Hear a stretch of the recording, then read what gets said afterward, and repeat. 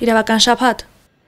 Որ դեպքում իրավունք ունեն խոզարկել քաղաքացու բնակարանը։ Ինչ անել, երբ ներխուժել են ձեր բնակարան եւ դուրս չեն գալիս։ Մասնագետները խոսում են լուծման լավագույն տարբերակի մասին։ Յուրաքանչյուր իրավունք ունի իր հողամասն ու բնականը զերծ պահել այլ անձանց կողմից ապօրինի մուտք գործելուց։ Այս իրավունքը ամրագրում է քաղաքացիական օրենսգիրքը ու սահմանում, որ ոչ ոք իրավունք չունի անօրինական կերպով ներխուժել այլ անձի օրինական տիրապետման տակ գտնվող տարածք։ Աստղիկ Կարապետյանն անդրադարձել է ներխուժմանն ու դրա վերացման տարբերակներին։ Մանրամասները ռեպորտաժում։ Ինչ անել, երբ ինչ որ մեկը ցանկանում է ներխուժել կամ ներխուժել է ձեզ պատկանող շինություն կամ բնակարան եւ դուրս չի գալիս։ Քաղաքացիական օրենսգրքի 203-րդ հոդվածը հնարավորություն է տալիս ներխուժումը կանխելու կամ վերացնելու համար դիմել ոստիկանություն եւ լիազորել գործողություններ կատարել ձեր անունից։ Ոստիկանության իրավաբանական վարչության աշխատակից Արմինե Ավոյանը ներկայացնում է կարգը։ Անձը կարող է հերախոսով, կապի ցանկացած միջոցով կամ գրավոր դիմել ոստիկանություն եւ խնդրել, որպեսի ոստիկանությունը իր անունից կատարի որոշակի գործողություններ այլ անձանց մուտքը կանխելու կամ նրանց իր անշարժ տարածքից հեռացնելու նպատակով ոստիկանությունը պարտավոր է անձի հաղորդումը կամ դիմումը ստանալուց հետո ոչ ուշ քան 3 ժամվա ընթացքում ներկայանալ անշարժ գույքի վայր եւ իրականացնել համապատասխան գործողություններ,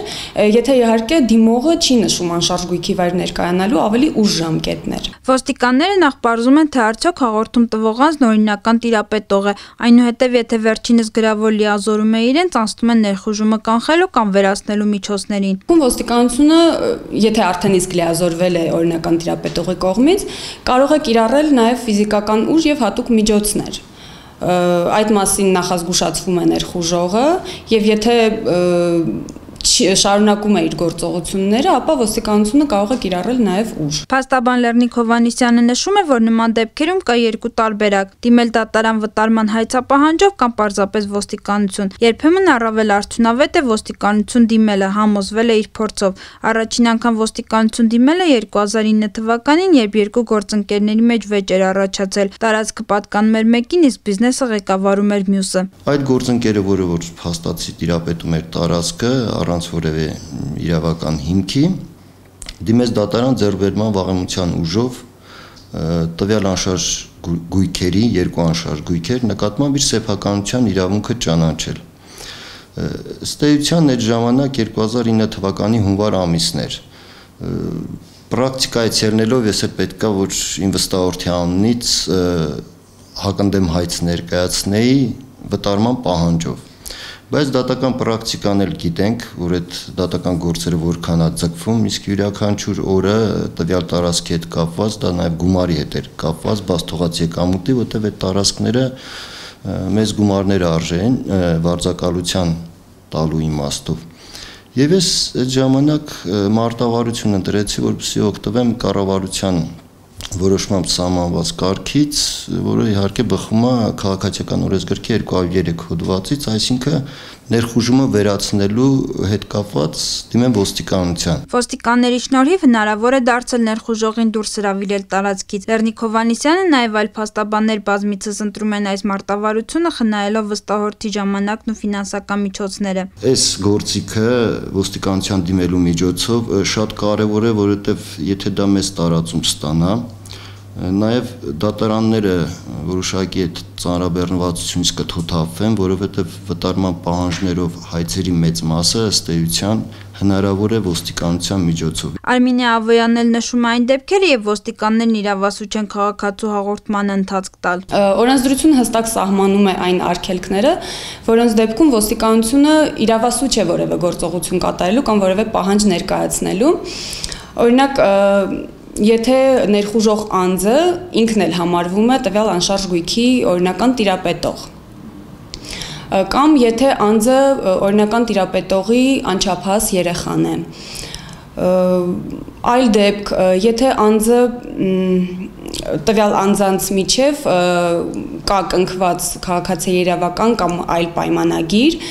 որի ուժով անձը իրավունք ունի գտնվելու որոշակի ժամկետով կամ մշտապես իրավունք ունի գտնվելու տվյալ անշարժ գույքի տարածքում։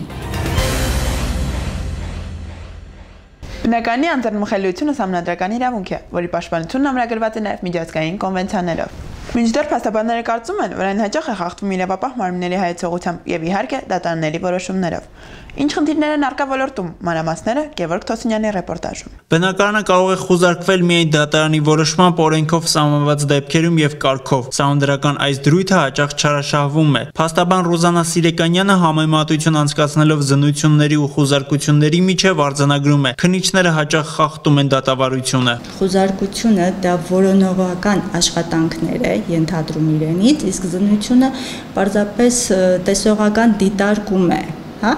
որևէ ձևով չեն կարող որ ինչ որ առարկա որոնել կամ պարզապես տեսողական դիտարկում է։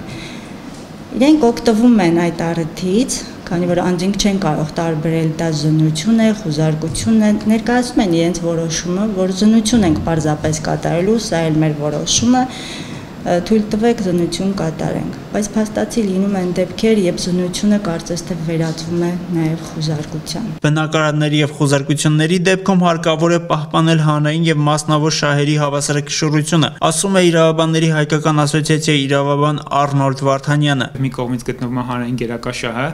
որը պահանջում է հանցագործությունները քնելու եւ բացահայտելու ուղղությամբ անձի բնականի խուզարկության կատամ եւ երկրորդ դեպքում մասնավոր շահի պարագայում երբ որ սահմանադրում են պաշտ պաշտպանված բնականի անձեռնմխելիության իրավունքի մասն է խոսքը գնում։ Յուրաքանչյուր դեպքում, երբ որ դատարանը քննում է բնականի անձեռնմխելիության շրջանակներում խոզարկության թույլտվություն տալու հարցը, պետք է ղեկավարվի այն սկզբունքով, որ հանրային ու մասնավոր շահը պետք է հավասարակշռված լինեն։ Հակառակ դեպքում խաթարվելու է քրեական վարույթի կարևորագույն նշանակություն ունեցող հանրայնության սկզբունքը։ Շահերի հավասարակշռությունը էապես խախտվում է մեր իրավակիրար պրակտիկայում, նշում է փաստաբան Զորայր Հարությունյանը։ Նամանավանդ հաշվի առնելով, որ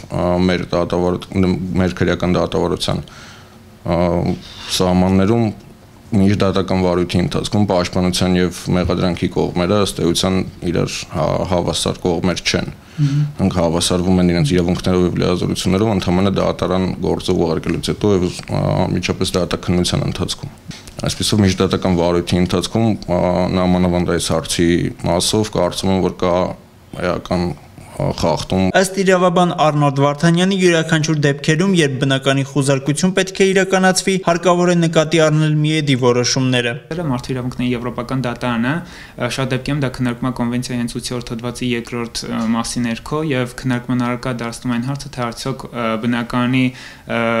անձեռնմխելիության նկատմամբ միջամտությունը, որը որ դրսևորվել է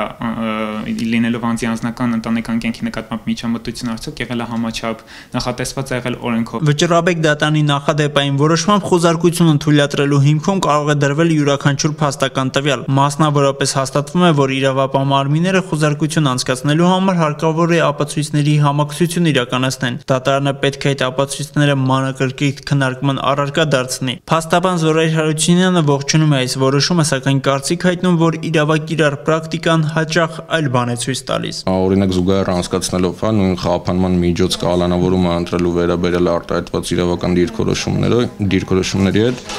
մասնավորապես Ասլան Ավետիսյանի, Վարամ Գևորքյանի եւ այլոց վերաբերել կայացված որոշումների նրանք իրեն իրենք իրենցով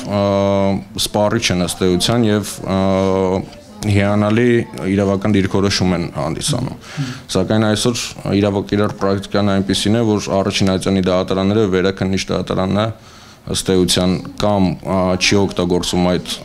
իրավական դիրքորոշումները կամ իմաստային առումով փոփոխելով այն օգտագործում է կալանավորման միջնորդությունը բավարարելու համար։